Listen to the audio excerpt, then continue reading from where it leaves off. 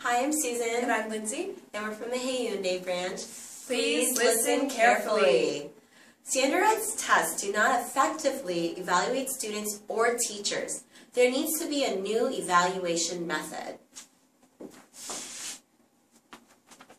Standardized tests are unfair to students. These tests put too much pressure on students. This is because some students think differently than others. Therefore, we believe students should be evaluated based on a final group project. This will allow students to showcase their different talents. This project will include things like visuals, research, and a presentation, which is something for all learners.